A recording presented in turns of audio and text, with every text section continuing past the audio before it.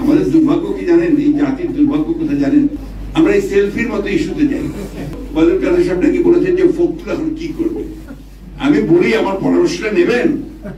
এটা হচ্ছে যে, এই ছবিটা বাঁধিয়ে ওটা গড়ার মতো নিয়ে ঘুরে বেড়াবে। আপনাদেরকে যথেষ্ট সাহায্য করবে। বোঝানোর চেষ্টা করেন জনগণকে যে আমেরিকা বাইডেন এখন আমার সঙ্গে আছে। অথচ এই আপনার প্রধানমন্ত্রী কয়েকদিন আগেই তিনি কি বললেন?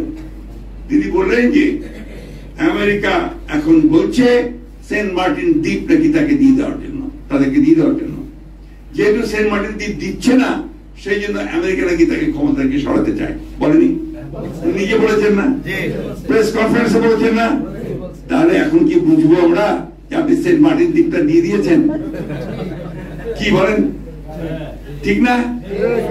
এটা হলো একটা দুটা হচ্ছে যে কতদিন কয়েকদিন আগে আপনি আবার আরেকটা কথা বলেছেন, যে এই এশিয়া প্যাসিফিক অঞ্চলে আপনি আমেরিকা চায় যে সেখানে বেস করবে এবং সে গোটা এই এই এলাকাতে সে প্রভুত্ব করবে, দেশগুলো দখল করবে, আক্রমণ করবে, এইভাবে কথা বলেছে